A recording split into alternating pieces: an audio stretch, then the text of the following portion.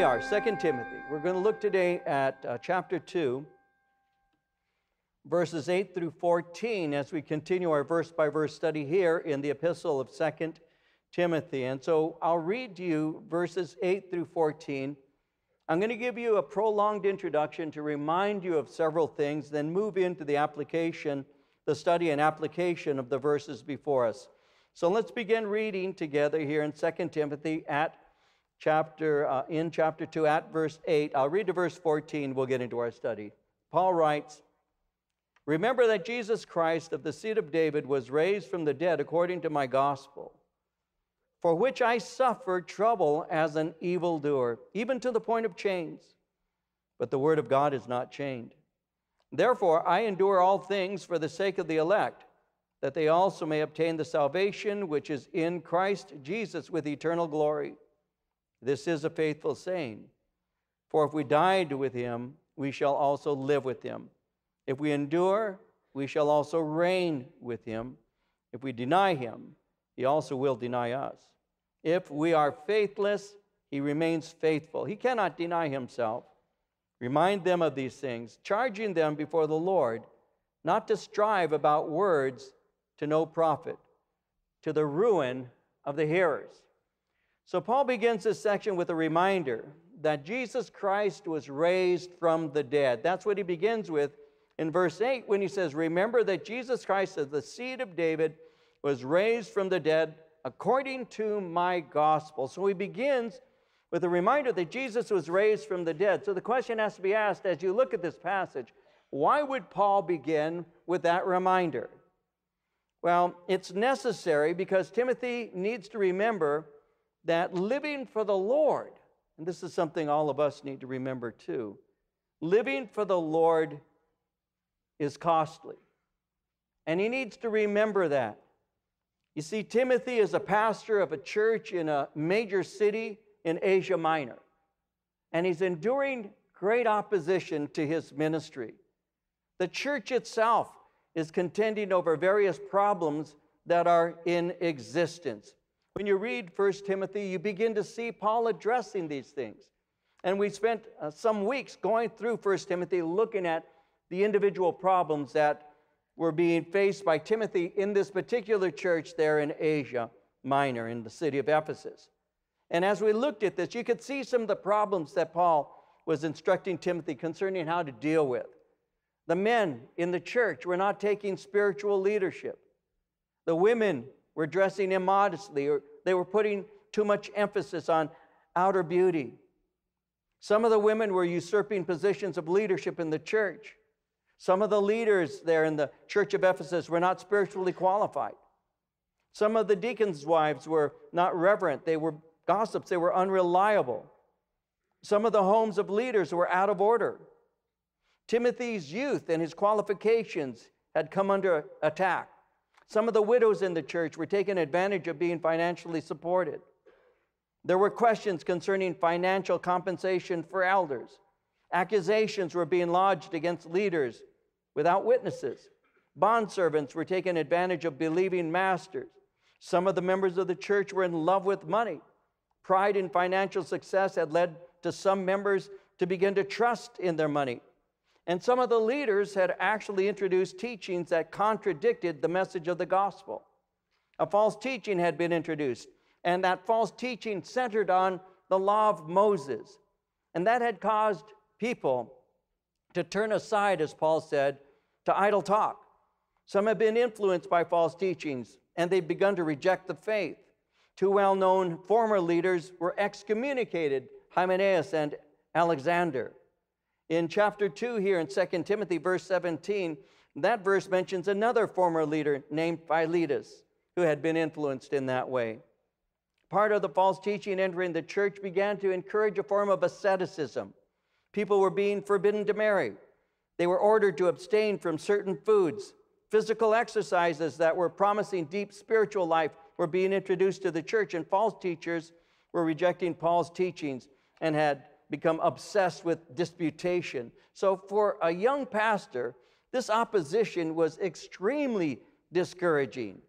So it moved Paul to tell him, Remember the prophecies that have been made concerning him He said that in 1 Timothy 1:18. It also moved him to tell Timothy to stir up the gift of God that he had received through the laying on of hands in 2 Timothy chapter 1 verse 6. And it moved Paul to tell Timothy to be strong in the grace that is in Christ Jesus. Now, of course, opposition was something Jesus prepared his disciples to anticipate on various occasions. So when you read your gospel, you see this. He, he informed us, he informed his followers that, uh, that believers are going to be persecuted. That's not something new, and that's certainly not a surprise. He made it clear that the world would not accept the gospel message. And he made it clear that they would not simply reject the message itself. He said they are not only going to reject the message, they will reject you too. In John 15, verses 19 and 20, Jesus said, If you were of the world, the world would love its own. Yet, because you are not of the world, but I chose you out of the world, therefore the world hates you. Remember the word that I said to you a servant is not greater than his master. If they persecuted me, they will also persecute you. If they kept my word, they will keep yours also. So today, we need to remember that when we live for Jesus, we encounter opposition. That's something that is blatantly obvious to anybody who has any eyes. It's quite obvious that the church is, is being uh, rejected. We have examples of rejection and opposition and, and all almost every day. Just last week, the View host Joy Behar claimed that Vice President Mike Pence saying that the Lord speaks to him is a form of mental illness. Mike Pence is a believer in Christ. And he made that statement, you know, the Lord speaks to my heart. And she says, Isn't that a form of mental illness? She said, it's, it's one thing to talk to Jesus, it's another thing when Jesus talks to you. That's called mental illness, if I'm not correct, hearing voices. Now, this is on ABC on this amazing show, The Voice. Now, I want you to think about that for just a minute how easy it was for her to say that. Why did she say that? She said that because Mike Pence is a committed Christian. That's why she said that. It's easy for her to say that because they have an audience filled with people who clap and applaud that kind of comment. That's why it's easy. It doesn't take any courage to say that when you have an accepting audience. It's not hard to say that at all. But I wonder if she'd say the same thing about Dr. Martin Luther King Jr because perhaps she doesn't remember or didn't know that uh, Dr. King prayed and, uh, and gave a story, even made a statement concerning how the Lord spoke to him and said to him that he needed to keep strong because he was at a time when he was out uh, doing the work that he was doing and he was becoming discouraged. And uh, Dr. King said, that he could hear an inner voice saying, Martin Luther King, stand up for righteousness, stand up for justice, stand up for truth. And lo, I will be with you even until the end of the world. Martin Luther King speaks of how he heard the voice of Jesus telling him to fight on, promising never to leave him alone. And he said, Almost at once my fears began to go, my uncertainty disappeared. I wonder if she would say that about Martin Luther King Jr., or if it's just okay to say that about Vice President Mike Pence. Many didn't take kindly to the treatment of his faith, especially the things that Behar said. Someone wrote, This is disheartening, and yet another example of how people who sit in a pew every Sunday are not just misunderstood, but mocked. Robert Jeffress, the pastor of First Baptist Church in Dallas, a member of President Trump's Evangelical Advisory Board, said in a Fox News interview Wednesday, Let's just go ahead and say what we all know is true. If Joy Behar had attacked a devout Muslim for his faith, ABC would have fired her in a nanosecond. He went on to say, to the left, when it comes to attacking conservative Christians, it is always open season. That's true. That's absolutely true. A 2015 Gallup poll found that 75% of Americans call themselves Christian. But this does not mean that these who call themselves Christians take their faith seriously. Someone said, Many are more concerned with global warming and secondhand cigarette smoke than they are about the life of the unborn, the normalization of sexual promiscuity, the attack on marriage, and the obvious hostility towards all things Christian. I read something interesting written by an Orthodox Jewish rabbi named Daniel Lapin. Rabbi Lapin is the founder of the Pacific Jewish Center in Venice. And Rabbi Lapin wrote, What is truly alarming is that there are more books for sale at your local large bookstore warning against the perils of fervent, Christi- fervent Christianity than those warning against the perils of fervent Islam. Does anyone seriously think America is more seriously jeopardized by Christian conservatives than by Islamic zealots? Without a vibrant and vital Christianity, America is doomed. And without America, the West is doomed, which is why I, an Orthodox Jewish rabbi devoted to Jewish survival, the Torah, and Israel, am so terrified of American Christianity caving in. Many of us Jews are ready to stand with you, but you must lead. You must replace your timidity with nerve and your diffidence with daring and determination. You are under attack. Now is the time to resist it. Now, that's not coming from a Christian. That's not coming from a conservative Christian. That's coming from a Jewish rabbi who sees what many don't see, even church people don't see. Timothy is going through hard times. So Paul writes to strengthen him, to encourage him. And so he uses the model of a teacher, a soldier, an athlete, a hard working farmer. And he says, as they are all faithful, you need to remain faithful. But what is going to keep him strong as he's going through this hardship? What will help him to endure? Well, he begins in verse 8 Remember that Jesus Christ of the seed of David was raised from the dead according to my gospel. What's going to keep him strong? You need to remember who he is. You need to remember what he's done on your behalf. Jesus Christ is of the seed of David. So he's speaking concerning Jesus' humanity, but he's also referring to his deity. The, speed, the seed of David speaks of his humanity, his earthly lineage. Uh, the angel Gabriel was speaking to Mary, his mother, and in Luke chapter 1, verses 31 and 32, it says, Behold, you shall conceive in your womb and bring forth a son, and shall call his name Jesus. He shall be great, shall be called the Son of the Highest. The Lord God shall give unto him the throne of his father David. That speaks of his humanity his lineage. He came from David. The promises given to King David were fulfilled in him. But being, being raised from the dead speaks of his deity. That's something that the Apostle Paul had made clear in Romans chapter 1. In Romans 1 3 and 4, Paul said regarding his son, who as to his human nature was a descendant of David, and who this, through the Spirit of holiness was declared with power to be the Son of God by his resurrection from the dead, Jesus Christ our Lord. So he is speaking to him concerning his humanity and deity, and he's reminding him to keep this in mind because Jesus suffered.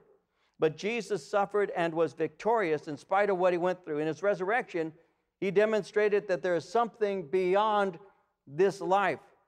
So, Timothy, remember that Jesus suffered as a man, but remember that Jesus had victory over the grave, and you're not to fear what you're experiencing. Because, Timothy, death does not have the final say. You need to remember that. In 1 Corinthians 15, verse 55, the word says, Oh, death, where is your sting? Oh, Hades, where is your victory? And the bottom line is, is death doesn't have the victory. Therefore, remember, Jesus Christ died, he was buried, but he was resurrected the third day. And he says, and this is a message that I've taught you. This is the message you're to be giving to other people. This is a message that is called the gospel. And it's according to my gospel. You need to remember what I've taught you. This message has been entrusted to me, and I've delivered it faithfully. And Timothy, it's being entrusted to you, and you need to do the same. In 1 Corinthians 15, 3 and 4, he said, I delivered to you first of all that which I also received, that Christ died for our sins according to the scriptures, that he was buried, that he rose again the third day according to the scriptures. So, this message that is so faithfully given out needs to be done so unaltered and unimproved because the consequences of changing this message are eternal and extreme. In Galatians 1 8, even if we or an angel from heaven preach any other gospel to you than what we have preached to you, let him be accursed. May he be eternally condemned. He said, This is the message. You need to remember what is going to keep you strong? Hey, Jesus Christ died, but Jesus Christ was raised from the dead. You have hope, not only in this life, but forever. And by the way, it's for this, verse 9, for which I suffered trouble as an evildoer, even to the point of chains. But the word of God is not chained. Paul is suffering hardship, including chains. He's in prison. And the reason he's suffering, I want you to notice, he said, I suffer, suffered trouble as an evildoer. The reason he's suffering is because of his faithful declaration of the gospel. That made him what is referred to as an evildoer. An evildoer during that day was another way of saying that he had broken the law. Paul at that time was in Rome, more than likely incar- incarcerated in a prison called the Mamertine prison. I, I visited that prison when in Rome many years ago. We went into the site that is traditionally the site of the uh, cell that the Apostle Paul was held in. The cell was carved out of rock. And the way the prisoner would be placed in the cell is he was actually lowered from a hole in the ceiling. It was 27 feet long, it was 20 feet wide. And it has been said that a more horrible place for the confinement of a human being can scarcely be conceived. And he's saying, I've been imprisoned for my testimony. It's not a surprise to me. I've known what this would cost me, I've known it from the beginning. When the Apostle Paul got saved, he was on the road to Damascus. And the Lord Jesus Christ brought, him, brought Paul to faith in him. And, and Paul was blinded, and he ended up going into a city where there was a man there awaiting him, a man by the name of Ananias. And the Lord had spoken to Ananias and said, Paul is going to come to you, and, and I want you to pray for him. And Ananias did something that a lot of believers do, tried to instruct the Lord concerning Paul. You know, God, you're busy with the universe. Perhaps you haven't noticed that this guy, Paul, is a dangerous man. He's threatening people, imprisoning people. Uh, uh, you want to consider this and perhaps change your mind. And, and the Lord God speaks to Ananias, and the Lord said to him, it's found in Acts 9 15 and 16, Go, this man is my chosen instrument to carry my name before the Gentiles and their kings and before the people of Israel. And God went on to say, I will show him how much he must suffer for my name. No, he's going to suffer for, for the things that he says. He's going to suffer for the gospel. I will show him these things. Paul knew it, knew it from the beginning. In, in Acts 21 10 and 11, uh, those verses speak of how Agabus said to Paul that he would be arrested, delivered to the Gentiles. And there were friends of Paul standing around, and and the response of his friends was they began to plead with him not to go to Jerusalem. But in Acts 21 13 and 14, Paul answered, What do you mean by weeping and breaking my heart? For I am ready not only to be bound, but also to die at Jerusalem for the name of the Lord Jesus. So when he would not be persuaded, Luke says, we cease saying, The will of the Lord be done. Paul was prepared for what he went through. He was prepared for the, enduring the suffering, the hostility, the, the cell. He was suffering unjustly, but he didn't complain about it. He encouraged Timothy. He said, Be, be prepared. Be prepared to suffer for the gospel. And so he's embracing, he's saying, You need to embrace two things. And, and this, by the way, is what we as believers should embrace. Embrace these two things, and you not only survive, but you'll thrive, Timothy, if you do this. One, you need to realize that suffering is part of preaching the gospel. Don't run from it.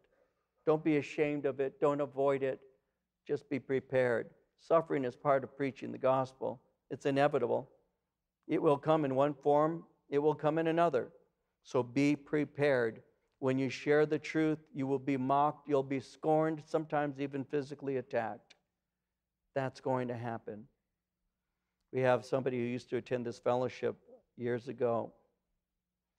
This happened just a few months ago, who was at a uh, supermarket, was in line, and there were two people standing in front of him who were um, uh, apparently loudly speaking about their homosexuality and things. And this guy who used to go here um, told them that their lifestyle wasn't a proper lifestyle and shared a little with them.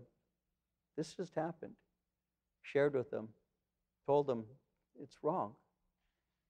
They didn't like it. When he walked out of the store, a van pulled up. He was dragged into the van and beaten to death. That, that happened just within the last three or four months. There is a price you pay for telling the truth. Sometimes you don't hear about it. It was in the newspaper, but many didn't read it.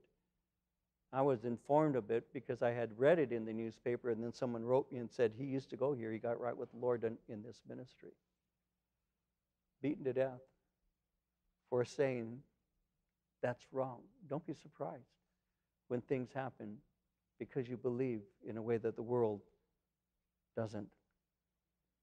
Suffering for the proclamation of what is true can cost. Matthew 10 22, you will be hated by all for my name's sake, but he who endures to the end will be saved. Paul makes it very clear, and I want you to see this here in verse 9. He says, I suffer trouble as an evildoer, even to the point of chains. But notice, the word of God is not chained. I may be chained, but God's word isn't. God's word moves. Though the preacher may be bound, God's word never is. Paul is saying Rome can put me in a cell, but God's word continues going forth without me. God's word is not invested in a single organization. His word is not invested in a single movement, in a single church, or a single man. A man can be put into prison, but God's word cannot be stopped. Again, we have a brother from our fellowship who had committed a crime and uh, had not been caught. And several years ago now, we were in uh, having a men's retreat. And he was seated at the table with me, and he, he introduced himself and, and shared with me how he had committed a crime and he was living under an alias. And uh, I said, Oh, and he said, Yeah, he says that. He says, But the Holy Spirit had convicted me and, and told me that, that I can't be hiding anymore, that I have to, to be an honest man if I'm going to follow the Lord, and I'm listening to him. And he says, So, as the Spirit of the Lord had told me that I need to, to deal with my crime, he said it was a serious crime. He says, I was driving and I got pulled over. He said, I had false ID that I would use. But this time, he said, I was under such great conviction that the Spirit of the Lord said, You need to give your proper name. He said, Which I did. He said, The result has been that I'm going to go to prison. This is back in 2010. And he went into prison. And so when he went into prison to do his time, he's going to be in until 2020 for 10 years. When he went into prison to do his time, he stayed in contact with us, and he has. And we as a church have been of help to him. I've, I've sent him a lot of teaching tapes. Uh, we ministers from our fellowship have gone to minister alongside of him. And he's a chaplain now. He's actually acting out as a pastor in, in prison in Taft. And uh, so I asked him just this week, uh, what's going on, you know, there? And can, can you give us uh, some information?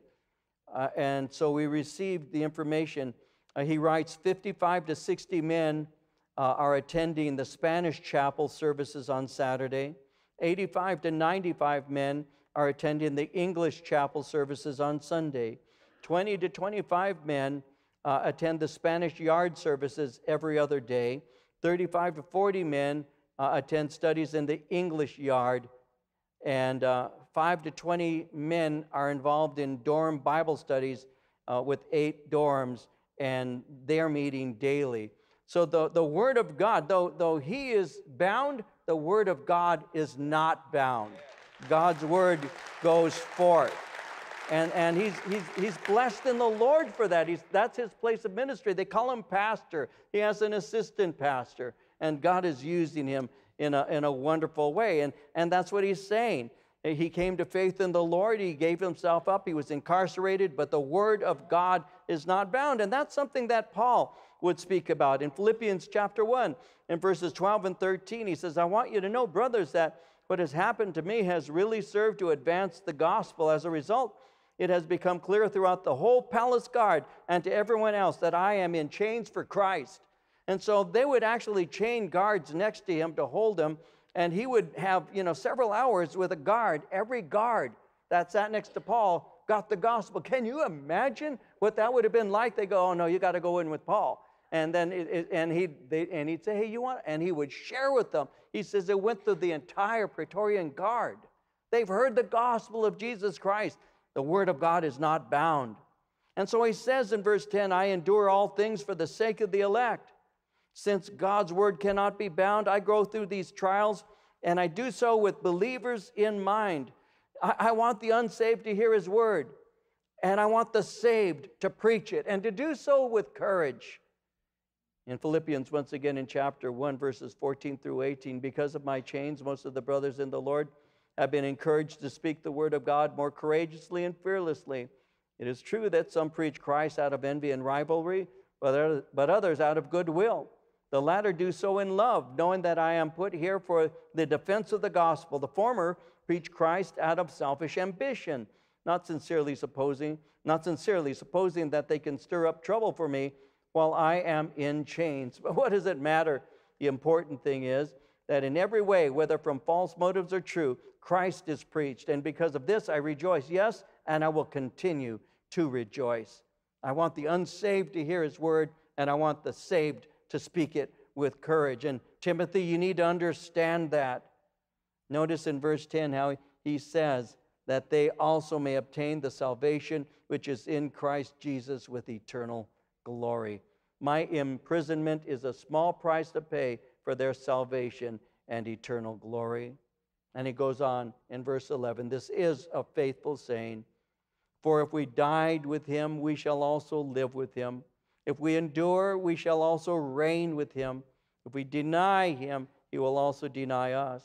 If we are faithless, he remains faithful. He cannot deny himself. Now, these words that he says may be words to a hymn, or it's part of what is called a confession of faith that would be repeated in church services.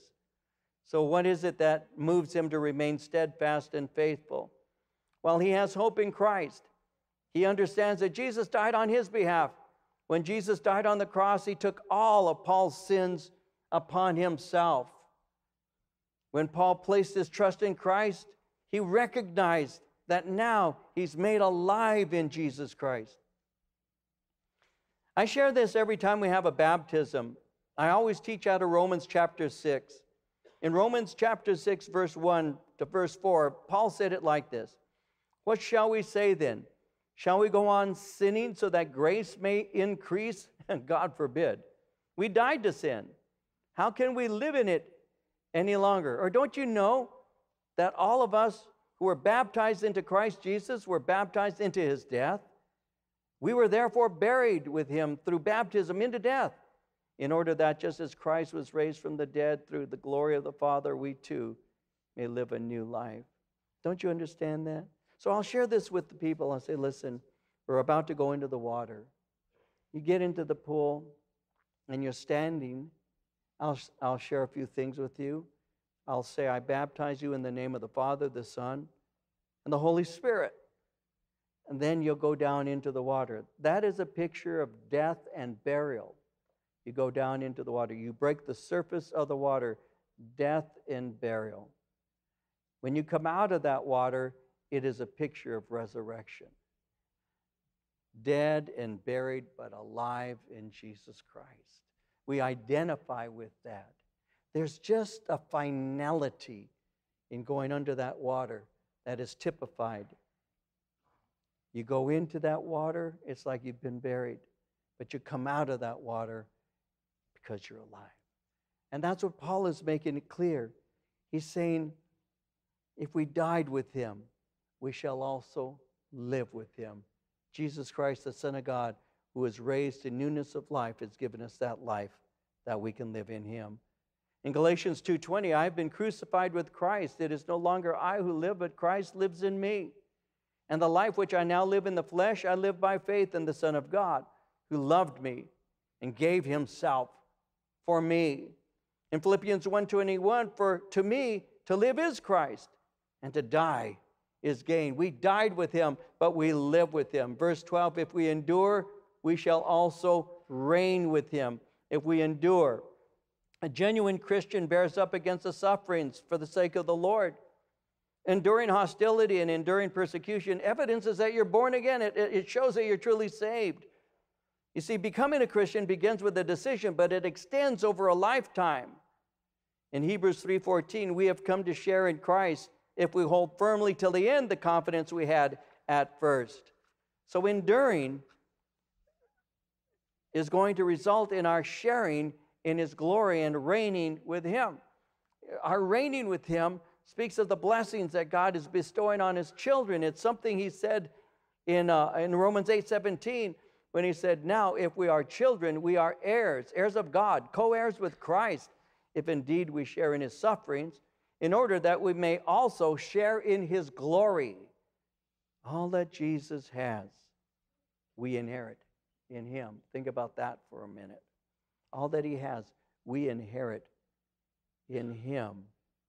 You know, there's a guy in the United States, Bill Gates.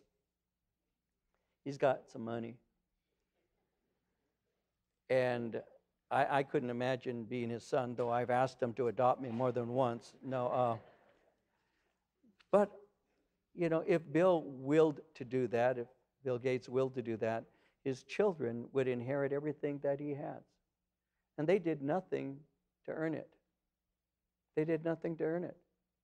It was on him. He did it. It's like that very wealthy man was asked a question. He said, they said to him, Where did you get all your wealth?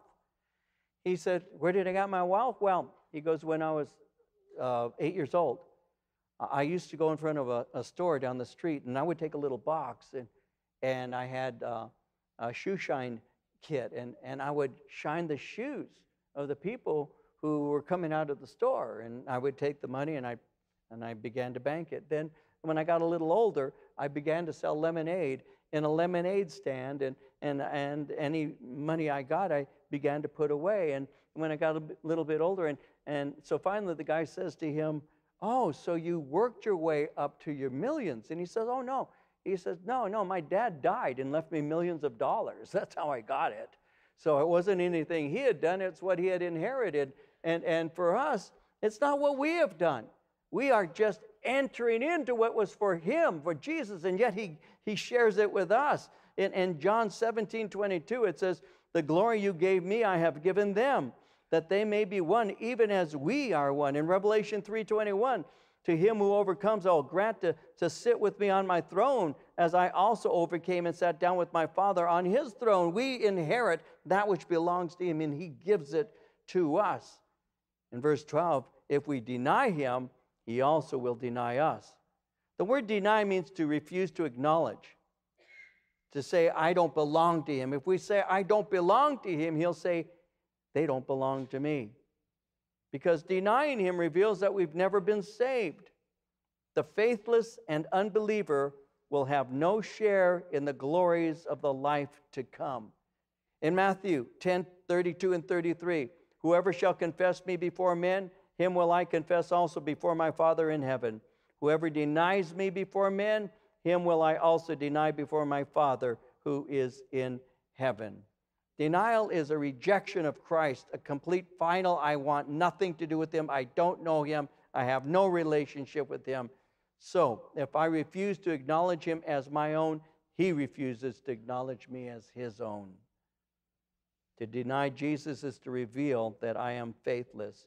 I am untrue to my vow. Verse 13 says, If we are faithless, he remains faithful. He cannot deny himself.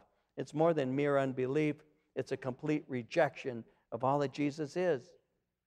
In spite of this, he is faithful, regardless of man's faithlessness. In Romans 3, verses 3 and 4, what if some did not have faith? Will their lack of faith nullify God's faithfulness? not at all. Let God be true and every man a liar, as it is written, so that you may be proved right when you speak and prevail when you judge. The person who is faithless is left without hope because God keeps his word. The word he has spoken is that without him, you will not enter the kingdom of heaven. And he is faithful in what he has said for life as well as for judgment. It's interesting how people will say, Oh, you know, I promise, he made a promise, therefore he'll keep it. He said that if I come to faith in him, that I'm born again and I have a place of inheritance. And, and they say that, but there are others who don't believe that. The ones who just say it but don't act on it, they're just saying it. But for us who really believe that, I, I have rested my entire eternity on that, that Jesus Christ keeps his word. My whole eternity is built on that. He said it, therefore he'll do it. When my father died 17 years ago, and we were in the um, in the viewing room where the family was. My father's casket, there was body of my father in the casket. My mom and my Marie, my children, sisters, and all. We were in that viewing room, and we were seated there. And I thought, how interesting this is because the family was talking amongst ourselves, and my my father, my father, when we would gather together as family, my father was real quiet. He, you know, he just would kind of sit back in a chair and he'd watch us as we visited and laughed and teased one another. And when he spoke, we all listened, but very often my dad just was a listener, not a speaker. So I thought how interesting it is, even at this time, it's, it's normal. My father's there in the casket. Of course, I don't expect him to speak. If he did, I'd have run out of there so fast.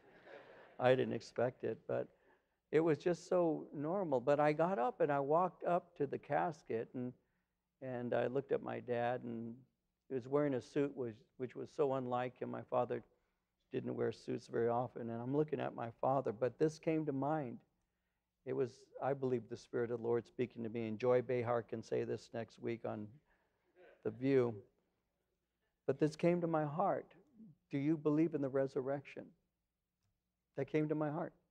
Do you believe in the resurrection? It was, it was not just a thought, it was really, it had the strength of a question. It was a real question. Do you believe in the resurrection? Because if you don't,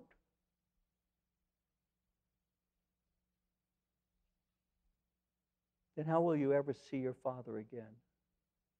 And I remember looking into the face of my father and I said, Yes, Lord, I believe. I will see him again. He's with you in heaven, he's beholding your glory. And one of these days, I'll see him again. That's the word of the Lord. I go and prepare a place for you.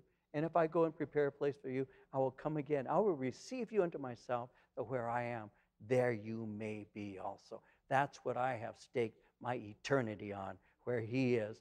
I will be. I will not deny the Lord. That's what he's teaching us here. These are the things that matter. And so, as he is sharing this, even if we are faithless, he remains faithful. He cannot deny himself.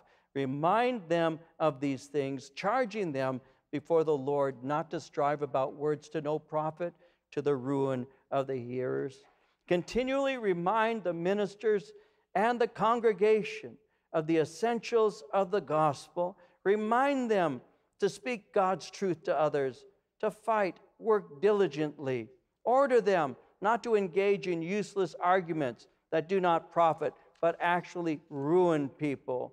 We need to be reminded of the essentials continually because it's easy for us to forget.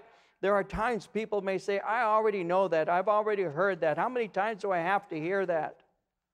Well, we need to have things repeated over and over because what they do is they settle in, they become who we are.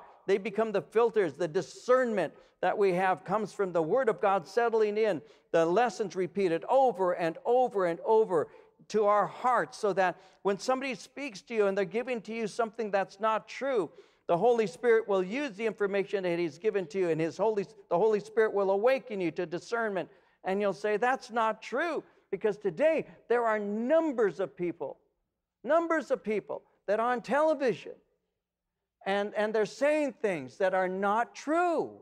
And yet Thousands of people go to listen. Thousands of people contribute their finances. Thousands of people take trips with them. I just got a, an invitation by a guy who teaches false doctrine, and he asked me if I wanted to go with him. It's not because it's, me, it's because it's a general mailer.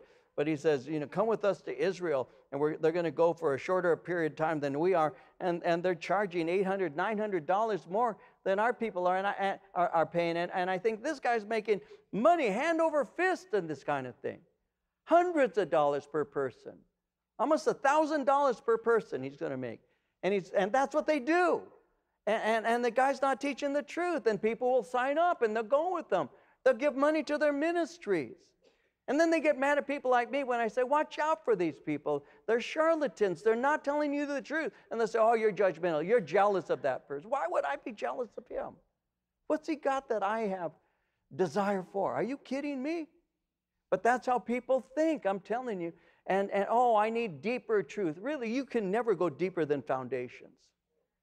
Never. You have foundations and you have discernment and you're able to say, that's not true. That's not true. No, I was reading in the Bible. It says this.